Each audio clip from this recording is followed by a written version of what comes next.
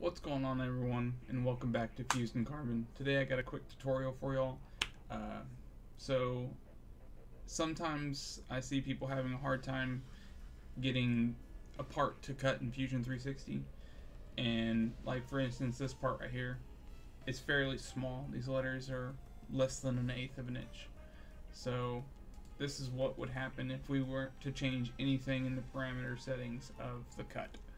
So what we're gonna do is we're gonna come back to our profile. We're gonna go to edit. We're gonna come over here to lead in distance and we're gonna change that to 0, 1. 0, 1.9685, whatever they, whatever the standard number is. I just added zero to it. And then if you wanted to smoothing, make sure that's checked.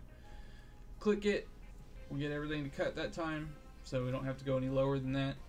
Um, but what you're going to have to be concerned of now is when you are cutting this, that depending on how thick your part is, you might need to change your pierce time because of how close it is to your cut line and the edge of the part. So just keep that in mind.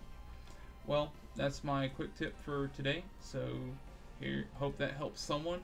And um, like, comment, subscribe, and as always, let there be fire.